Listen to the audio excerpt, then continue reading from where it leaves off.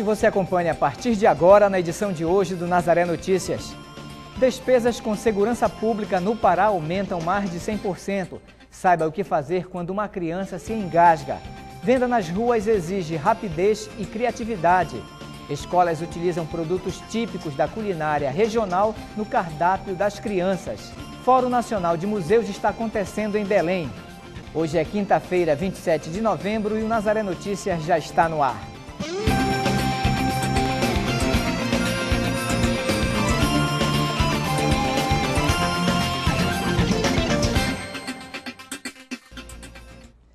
A edição de hoje começa falando de segurança pública. Nos últimos seis anos, as despesas com a segurança no estado do Pará aumentaram mais de 100%. Isso se deve principalmente com os gastos de policiamento e inteligência. As informações são do Anuário 2014 do Fórum Brasileiro de Segurança Pública. No levantamento, o gasto com policiamento soma 138,8 milhões de reais em 2013, um aumento de 37,5% em relação a 2012. Mas os dados não param por aqui. A área de inteligência soma uma despesa de mais de 17 milhões e 435 mil reais. No total de gastos com segurança, o Pará ocupa a nona posição entre os estados brasileiros com maior custo. O custo gira em torno de 1,6 bilhão em 2013, 12% de aumento com relação a 2012. Primeiro, a necessidade do Estado fazer frente às diversas demandas da área de segurança pública. Então, você vê, nós, ah, em termos de per capita, nós saímos, de, o Estado sai de 95,1 em termos de reais per capita em 2007 e passa para 2013 para 199,5. Então, mostra um aumento de 109,6% nos seis anos. A necessidade de fazer o enfrentamento à violência, houve esse investimento. De 2007 a 2013, a despesa per capita do estado do Pará com segurança pública aumentou mais de 100%. Isso se deve, de acordo com a Secretaria Estadual de Segurança Pública, ao maior investimento em tecnologia para o enfrentamento à violência de forma geral, o, trabalho todo que existe, tecnologia, é, na parte de policiamento, na parte de inteligência, é sempre colocar o Estado à frente, tentar fazer frente a essas demandas. E agora nós vamos falar do açaí. Três pontos de venda de açaí de Belém recebem hoje os primeiros selos de qualidade do produto entregues pelo Departamento de Vigilância Sanitária da Secretaria Municipal de Saúde. O objetivo do selo é proporcionar a venda de um produto adequado às normas de higiene e saúde. Os estabelecimentos que recebem a certificação são Tropical Açaí, Açaí do Heron e Ponte do Açaí. O selo será entregue a pontos de venda que estão em dia com os procedimentos de higienização e qualidade do produto. Segundo a Devisa, serão intensificadas as fiscalizações nos pontos de venda de açaí em Belém para notificar ou até mesmo fechar os pontos que não adotarem as práticas adequadas. Nesta sexta-feira acontece a Sextação PET, que visa garantir o atendimento clínico a cães e gatos, curativos e orientações aos donos de animais. Caroline Guimarães tem mais informações. A ação promovida pela Universidade Federal Rural da Amazônia tem como objetivo levar atendimento médico veterinário a comunidades carentes. Portanto, quem quiser garantir esse atendimento ao seu animal deve chegar na sexta-feira a partir das 8 horas da manhã na UF para receber uma senha. Serão distribuídas 250 senhas para o atendimento que acontece até às 16 horas. Lembrando que nessa ação não serão fornecidos serviços como vacinação, castração, cirurgia ou mesmo coleta de material para análise. Caroline Guimarães para o Nazaré Notícias. Na entrevista de hoje nós vamos falar sobre depressão. Caroline Guimarães conversa com o médico Carlos Teixeira. Não é isso, Caroline? Isso mesmo, Marcos. Lembrando que quem quiser participar conosco pode ligar para o 4006-9211. Está aqui ao meu lado o doutor Carlos Teixeira, ele que é psiquiatra. Doutor, muito obrigado por participar aqui conosco. Primeiro, para que a gente uhum. possa entender o que é a depressão. A depressão é uma doença crônica né?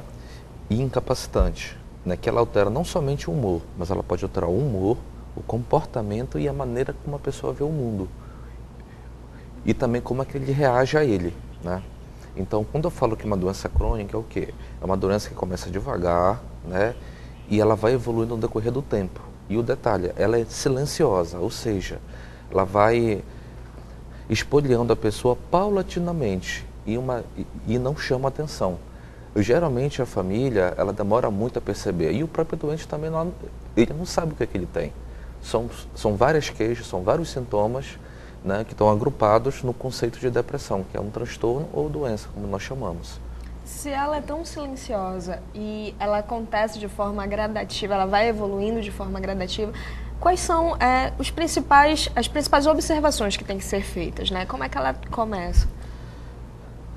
Uma, algo interessante para falar é o seguinte: a depressão ela, ela, pode acometer, ela pode acometer qualquer faixa etária. Determinados países, ela comete geralmente a faixa idosa e pode acometer também a faixa adolescente, inf, infantil, adulto jovem. Então, geralmente, o que, que acontece? Ela começa com uma, uma forma mais leve. A pessoa começa a sentir uma dor difusa pelo corpo, né? ela não sabe referir onde a dor começa, onde termina, né? uma indisposição ao levantar. Às vezes é uma dor de cabeça que não passa, é aquela cefaleia, que é dor de cabeça né? atrás do pescoço, atrás da nuca, é uma dificuldade de iniciar o sono, é uma dificuldade de manter o sono, ou seja, a pessoa ela acorda no meio da noite, ela começa a ter também uma baixa estima, né? É um, um sentimento de desvalia, ou seja, tudo que ela faz não é o adequado, não é o correto. Então são vários sentimentos, né? geralmente negativos que a pessoa ela nutre dentro de si e com o tempo ela tem o quê? Um, um rendimento né, físico muito inferior do que aquilo que ela deveria ter. Então, ou seja, os sintomas são vários. E como estou te falando, começa com dor, uma dor difusa, uma indisposição, uma fadiga, uma falta de energia, né? É, pode ser uma insônia, pode ser sintomas de ansiedade também, enfim. Ou seja, os, os sintomas são vários, múltiplos, mas na essência, o humor geralmente está deprimido. A pessoa se queixa da baixa estima, da falta de perspectiva da vida, ou seja, tudo que ela lembra do passado é o, é o aspecto ruim, é, são lembranças ruins, o presente não tem perspectiva, o futuro também é, é nebuloso. Agora existe ainda uma, uma, digamos assim, uma certa restrição do paciente, da pessoa que tem esses sintomas, de ir ao médico, de consultar um psicólogo, um psiquiatra.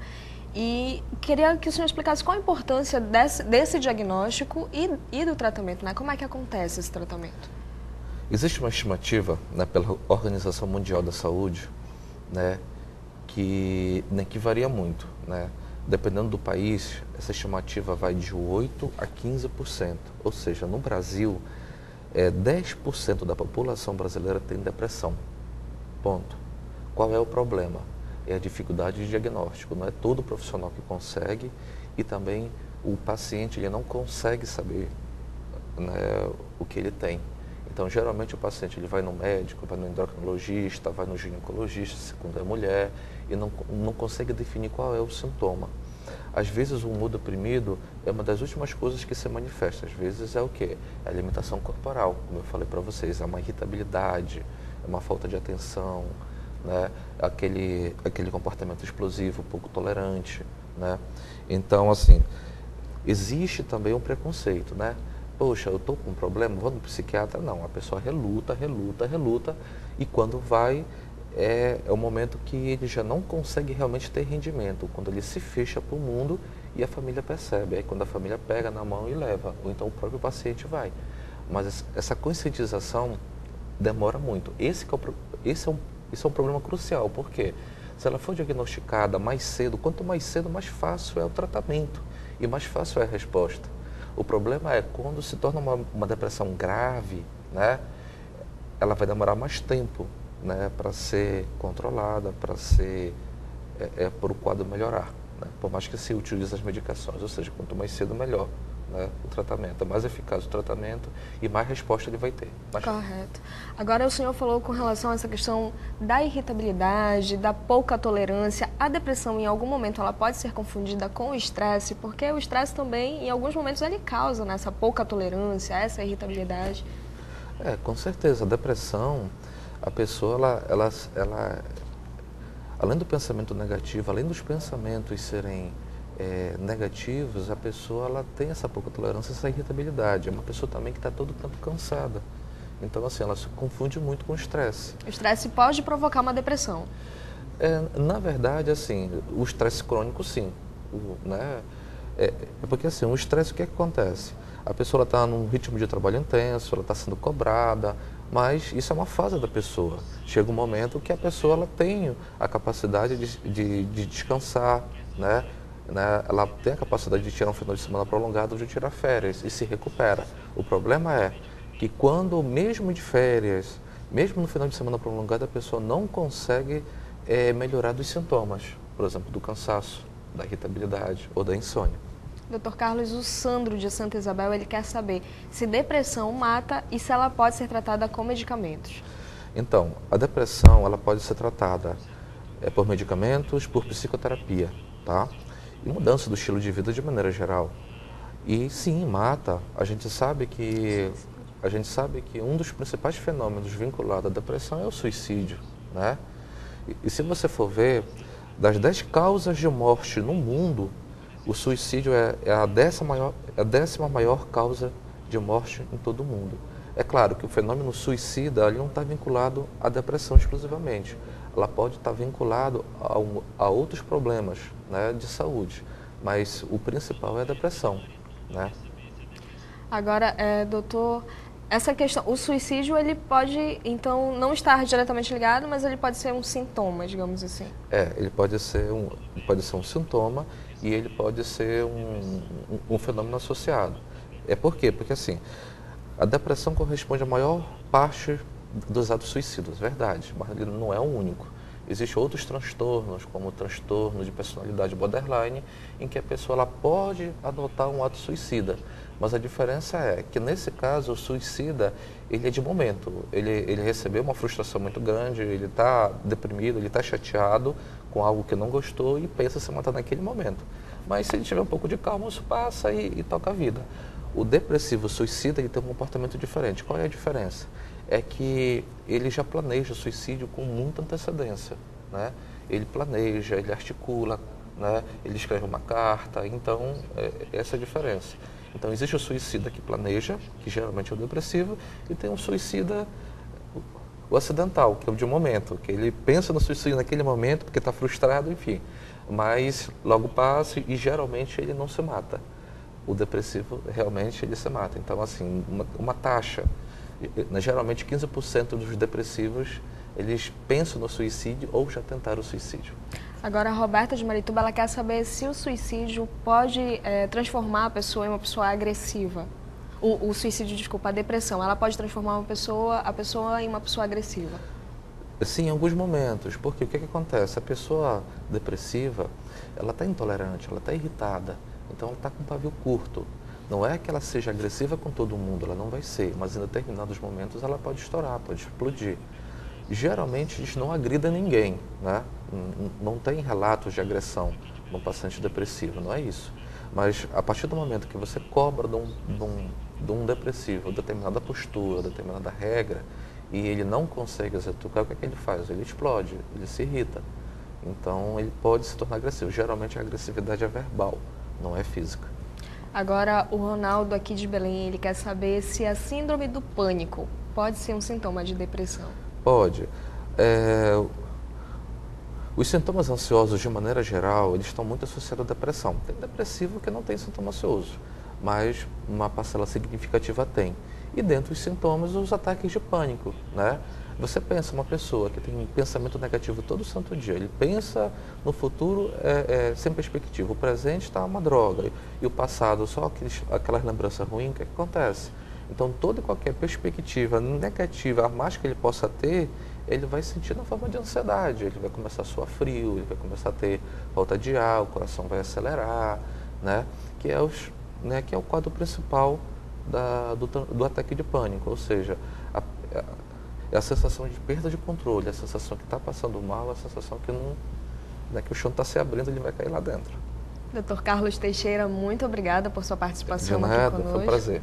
Lembrando que quem quiser sugerir temas para as nossas entrevistas pode ligar para o 4006-9211. Marcos. Os profissionais de saúde de Belém estão participando de um curso de capacitação para atuar contra o mosquito causador da dengue e da febre, da febre chikungunya. A Secretaria Municipal de Saúde reúne mais de 200 servidores para esclarecer sobre o assunto. Também estão sendo ministradas palestras sobre a doença de Chagas e o ebola. Do início do ano até agora, 20 casos de febre foram notificados pela Divisão de Vigilância Epidemiológica da Secretaria de Saúde. E em relação à dengue, 265 casos foram confirmados neste mesmo período. O curso quer garantir uma rápida identificação dos casos suspeitos para diagnóstico e tratamento precoce. E ainda falando de saúde, você sabe o que fazer quando alguém se engasga, principalmente se for uma criança ou um bebê? Saber o que fazer se alguém se engasgar pode salvar vidas. Larissa Cristina tem mais informações. O engasgo pode acontecer em qualquer idade. Saber o que fazer se alguém engasgar pode salvar a vida da vítima. O tenente do Grupamento de Socorro e Emergência do Corpo de Bombeiros do Pará demonstra como devemos agir.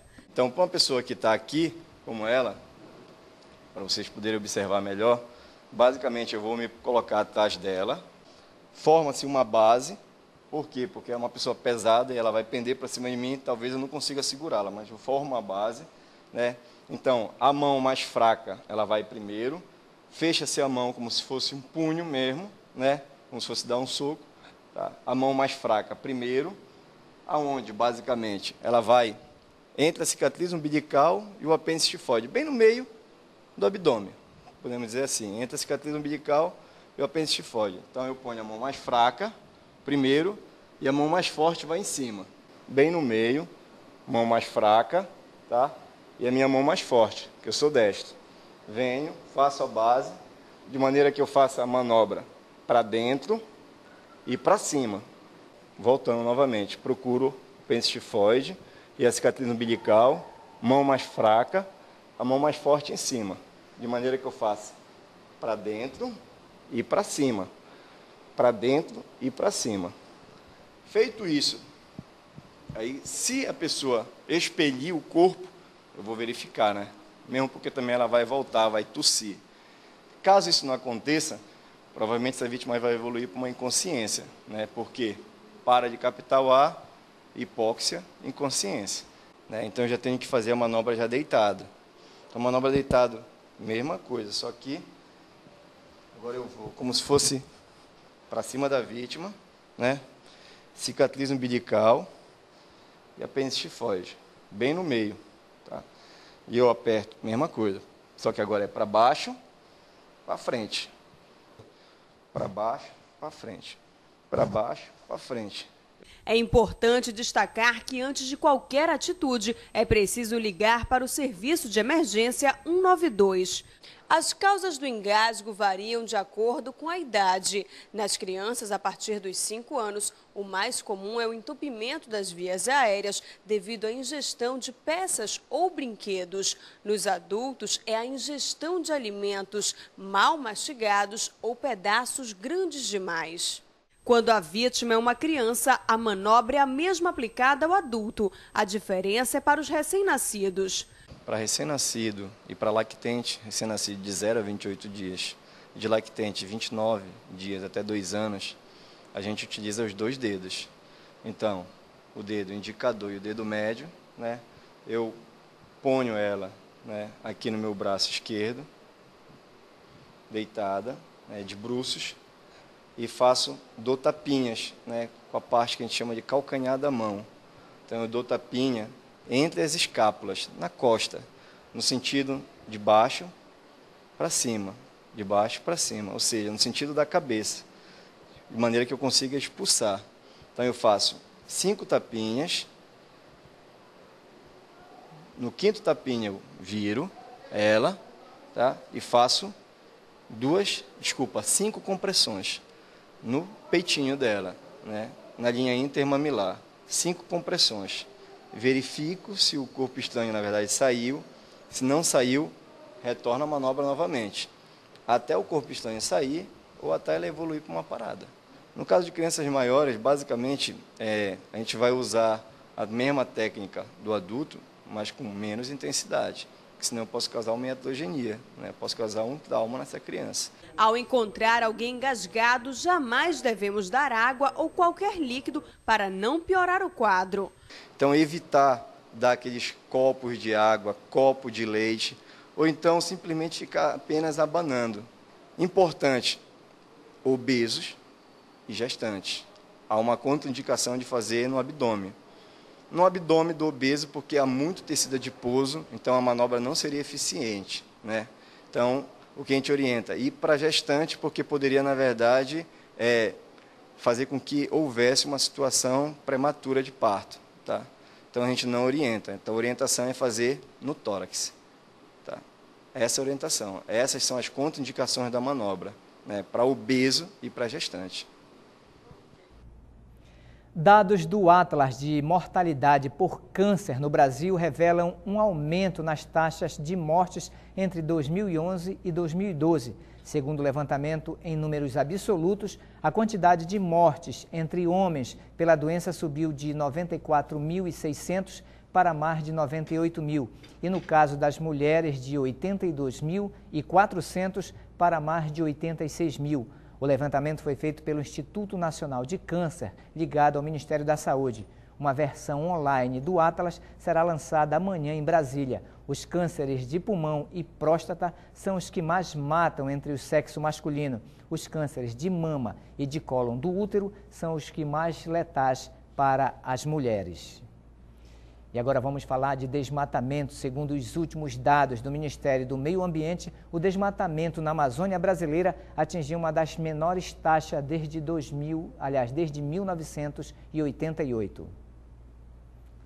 De acordo com o levantamento de agosto de 2013 a julho deste ano, foram desmatados mais de 4.800 quilômetros quadrados da Amazônia, representando uma queda de 18% se comparado com os quase 6 mil quilômetros quadrados degradados no período anterior. O levantamento também apontou uma redução no desmatamento nos estados que compõem a Amazônia Legal. No Pará, a taxa de degradação caiu 22%.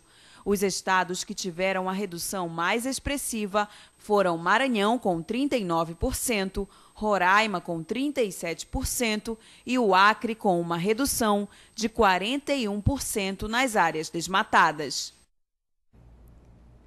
A terceira etapa do projeto Ribeirinho Cidadão, promovido pelo Tribunal de Justiça do Pará, continua realizando ações de cidadania até o dia 30 deste mês em diversas comunidades na ilha de Outeiro. A previsão é que nesta etapa sejam realizadas cerca de 400 audiências. Os serviços são oferecidos das 8 da manhã às 10 horas da noite. O projeto Mini Escola Meu Refúgio, que previne e combate a violência contra crianças e adolescentes, também faz parte da Maratona Cidadã e está levando às escolas das ilhas de Belém discussões sobre temas como direito da criança, trabalho infantil e bullying. É comum encontrarmos nos sinais de trânsito a comercialização de diversos produtos. São muitas as pessoas que ganham a vida com esse comércio. Rapidez e criatividade são importantes para as vendas carregadores de telefone em um único conector, antenas para televisão, capas para volantes, frutas, doces, chapéus, uma diversidade de produtos que podem ser comprados assim, no sinal. O trabalho requer agilidade, o sinal fecha e eles começam a abordagem. Nem sempre tem sucesso, mas eles não desistem. Seu Carlos é vendedor há mais de 20 anos. Hoje, vende carregadores e capas para o volante do carro, mas nem sempre foi assim. Os produtos comercializados variam com a época e a necessidade. É que dá para tipo, trabalhar, né? Trabalhar assim, como eu estou falando, essa parte de frutas, essas coisas, né? Como variedades. Tem tipo de material aqui sai bastante agora pelo inverno, né? Sombrinhas. Chegou o inverno, é bom trabalhar também. Assim como Carlos, são muitas as pessoas que trabalham dessa forma.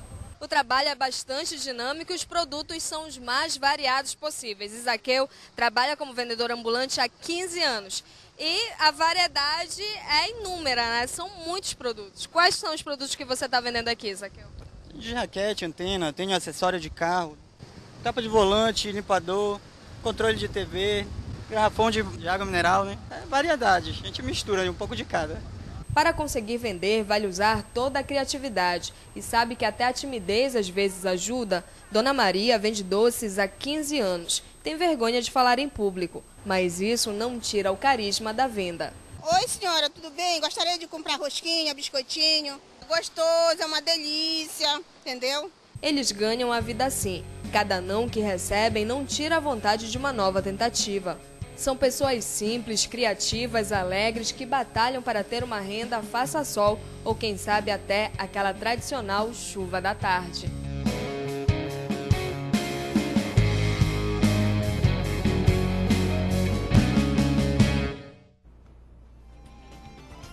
E você acompanha ainda nesta edição: escolas utilizam produtos típicos da culinária regional no cardápio das crianças. Caminhada de conscientização do combate ao câncer infanto-juvenil e Fórum Nacional de Museus está acontecendo em Belém. E agora nós vamos falar sobre merenda escolar. Nesta reportagem vamos acompanhar o lanche bem diferente dos estudantes da rede municipal de Belém. Açaí, peixe, jambu, produtos típicos da culinária regional agora fazem parte do cardápio das crianças. Para eles é a melhor merenda. João Pedro nem hesitou em repetir a dose. Muito gostoso. Quando tem açaí, o refeitório fica lotado. Cada criança tem direito a uma dose de 200 ml. Quem gosta, repete, mas sem excessos. Eu acho assim que a gente se sente mais bem e dá mais força. A mamãe me acostumava a tomar açaí. Aí eu fui me acostumando e fui tomando. Aí eu só como açaí. O açaí entrou na merenda escolar da rede municipal de Belém ano passado. Junto com ele veio a tapioca, um lanche além de saboroso, nutritivo. Até porque o açaí ele possui um alto valor energético e a gente precisa se preocupar com isso no equilíbrio de, desse cardápio para que não, não ultrapasse a recomendação do FNDE que existe e os cardápios eles tendem a ter um equilíbrio é, de nutrientes e de componentes, tanto de macro e microelementos, no sentido de atender ao período que a criança está na escola, que são as quatro horas. Então existe a recomendação que precisa ser atendida. E o açaí ele entra justamente dentro desse equilíbrio. O açaí é servido às crianças uma vez na semana, a cada 15 dias. Dona Sônia é merendeira há 28 anos e nunca viu um prato fazer tanto sucesso. Olha, eles merendaram mais, eles pedem mais, eles chegam direto. Quando é açaí, não fica um sem merendar. Eles sempre repetem? Com certeza. Repete, se for fazer gosto de repete três, quatro vezes. A merenda servida em Belém segue as normas do Programa Nacional da Alimentação. Por isso, nada de guloseimas. Os alimentos regionais são produzidos por produtores da região metropolitana de Belém. A agricultura familiar, ela somou consideravelmente e está expandindo a sua produção, é, contemplando o programa de alimentação escolar e trazendo também o benefício para ambas as partes para a implementação do cardápio quanto ao valor nutricional e gerando renda e emprego para esses agricultores. Após a hora da merenda, o refeitório fica completamente vazio e sob o balcão da cozinha, somente as vasilhas sujas com o restinho do açaí. Nesta manhã, 129 alunos merendaram e consumiram 21 litros de açaí. Para as crianças, resta limpar os dentes e voltar para a sala de aula.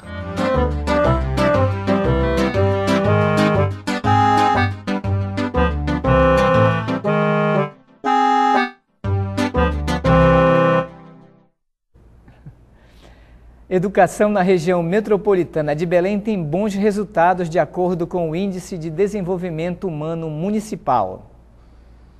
Segundo informações do Atlas do Desenvolvimento Humano das Regiões Metropolitanas Brasileiras, a educação na capital paraense teve melhorias dos anos de 2000 a 2010. O estudo foi realizado pelo Programa das Nações Unidas. O IDHIM é um índice composto por importantes segmentos do desenvolvimento humano, como vida longa, educação e renda.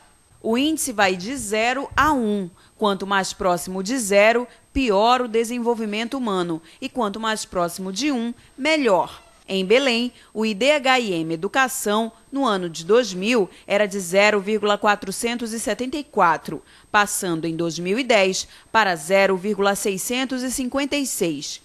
O índice de vida longa era de 0,752 e em 2010 passou para 0,817. Em termos de renda, o IDHM passou de 0,672 em 2000 para 0,722 em 2010. A Agência Central dos Correios, aqui em Belém, já recebeu cerca de 7 mil cartas com pedidos de crianças. A campanha pretende que Papai Noel chegue até elas por meio de voluntários. Qualquer pessoa pode ir até uma agência na Avenida Presidente Vargas e presenteá-las. Este ano, 45 creches e escolas da rede pública de Belém devem ser beneficiadas com a iniciativa. A campanha pretende beneficiar cerca de 400 crianças e segue até o dia 12 de dezembro. E agora você acompanha a previsão do tempo para amanhã na Amazônia.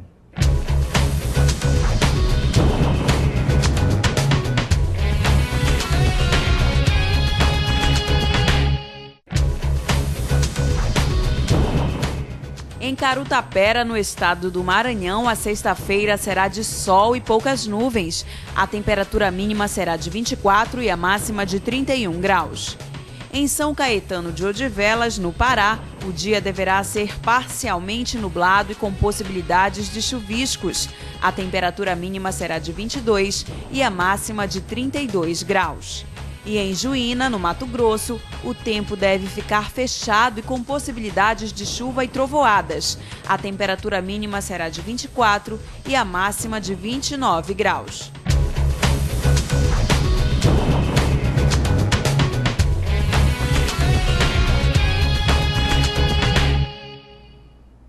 E agora nós vamos falar de literatura. Amanhã acontecerá o lançamento do livro A Linha Imaginária e Outras Linhas, do escritor Rui Barata. O evento será no Restor do Parque da Residência, aqui em Belém, às 19 horas. A obra foi escrita há 63 anos e reúne textos, fotografias e poemas. O livro também traz fragmentos de outros artistas, como um ensaio do crítico Benedito Nunes. Durante o lançamento, haverá a apresentação do show Jazz Abraça Rui, com o grupo de jazz paraense de Adalber Carneiro. Rui Barata nasceu em Santarém em 1920 e morreu em São Paulo no dia 23 de abril de 1990. Foi advogado, cartorário, jornalista, poeta e escritor. E agora nós vamos falar sobre produção do conhecimento. Nesta reportagem, você vai conhecer o acervo arqueológico do Museu Paraense Emílio Guilde.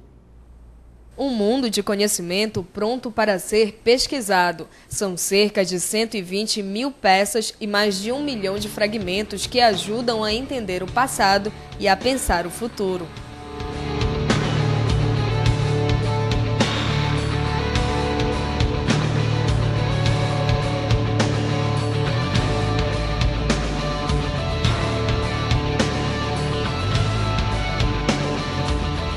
A sala já é pequena para tanto material. Este é o acervo do Museu Emílio Guilde, referência em todo o Brasil. Esse acervo ele começou desde a fundação do museu, com o Emílio Guilde coletando algumas peças. Aí, no, inicialmente, ele era junto com as peças da antropologia, era arqueologia e antropologia. Depois, se eu não me engano, foi nos anos 60, ele foi desmembrado e aí foi criado um acervo específico para arqueologia e outro específico para antropologia. Aqui existem peças raras de muitas regiões, como Roraima, Rio Negro, Rondônia, Acre. Essas urnas, por exemplo, são do Amapá, são maracás. Uma curiosidade sobre esses objetos é que cada um deles possui um rosto diferente. Esta estatueta é marajoara e por muitos anos foi símbolo do museu.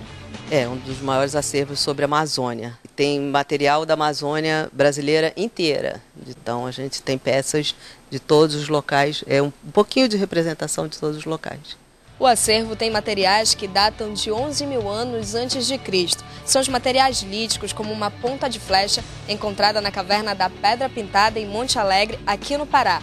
Tem também materiais em cerâmicas, consideradas as cerâmicas mais antigas das três Américas. Datam de 8 mil anos antes de Cristo e foram encontradas em Taperinha, no Baixo Amazonas. São muitos os materiais disponíveis aqui, cada um com uma singularidade que chama a atenção, desperta a curiosidade de conhecer cada vez mais a história e a cultura das sociedades antigas. A importância da preservação desse material é porque conta grande parte da nossa história. E aí, preservando, as pessoas podem vir aqui, estudar esse material e produzir toda uma série de conhecimento que até então não se tinha. À medida que as, as análises vão ficando mais avançadas, mais detalhadas, esse material está resguardado aqui justamente para isso.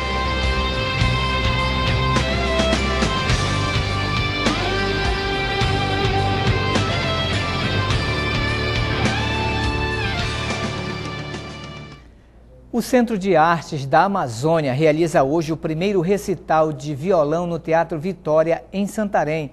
O evento é resultado do curso de violão que teve início em março. A apresentação começa às 19h30 e a entrada é gratuita.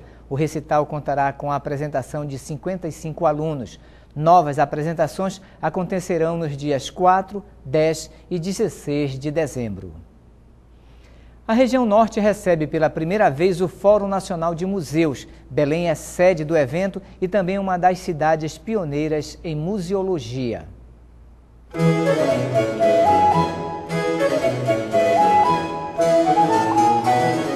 Há muito tempo, os museus deixaram de ser espaços para guardar peças antigas. Eles são verdadeiras enciclopédias, lugares onde o passado é porta para o autoconhecimento e a construção da cidadania. Conhecer a própria história é o que esses espaços proporcionam e vão além. Museus são base para a construção identitária, fundamentais para a cultura, a educação, o turismo e por isso hoje centenas de profissionais discutem a formação, manutenção e a importância dos museus para a sociedade. Uma dessas discussões acontece no Fórum Nacional dos Museus. É o sexto fórum. Há dez anos, de dois em dois anos, nos reunimos todo o campo museal brasileiro para uma profunda reflexão sobre os temas mais importantes que nos congregam.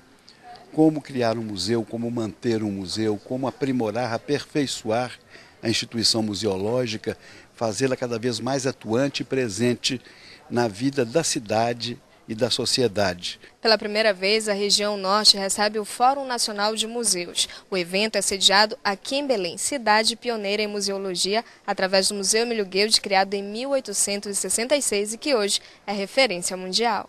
Nós abrimos esse grande encontro no Museu Paraense Emílio Guild, reunindo no seu auditório a teia da memória. Pontos de memória de várias partes do Brasil também vieram debater conjuntamente com os representantes dos museus, esses temas fundamentais da museologia, em especial da museologia social. E os museus paraenses são da maior importância. O relacionamento da sociedade com os museus vem se estreitando. A tecnologia é uma aliada nessa aproximação. Marcelo é empresário e demonstra como é possível interagir com peças que a princípio parecem paradas. A tecnologia nova é realidade aumentada, está sendo muito usado na área dos museus, na área de comunicação, marketing, e ele consiste basicamente em você colocar é, objetos virtuais dentro do ambiente real. É uma, uma forma de você tra trazer vida a um ambiente estático. Entendeu? Então você pode criar, no caso, o próprio artista explicando sobre a obra, então, assim, as, as possibilidades são praticamente infinitas, né?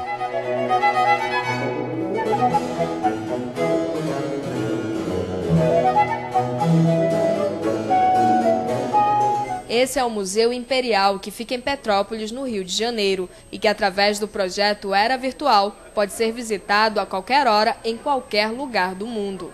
Você vai poder acessar o site eravirtual.org e nesse site você já tem 27 possibilidades de visitações virtuais. De museus, com exposições permanentes, que ainda você pode visitar, então só você visita, descobre o que tem e programa sua visita presencial.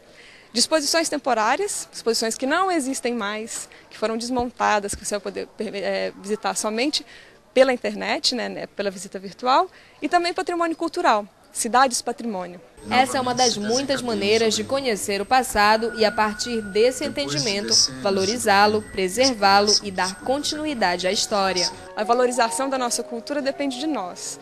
Então é importante que a gente saiba o que nós somos, que a gente descubra o que nós somos e que a gente mostre para o mundo todo como nós somos belos e bonitos e como a nossa cultura é importante para nós. Então, vamos conhecer, acesse o eravirtual.org, isso é um caminho, e vamos visitar os museus.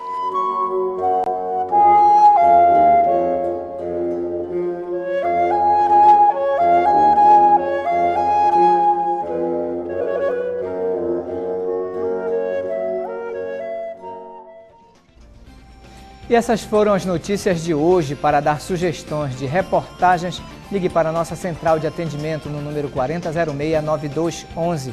E se você quiser rever nossos vídeos, acesse o portal Nazaré www.fundacionazaré.com.br ou acesse a nossa página no Facebook. O Nazaré Notícias fica por aqui. Nos encontraremos amanhã na próxima edição. Até lá!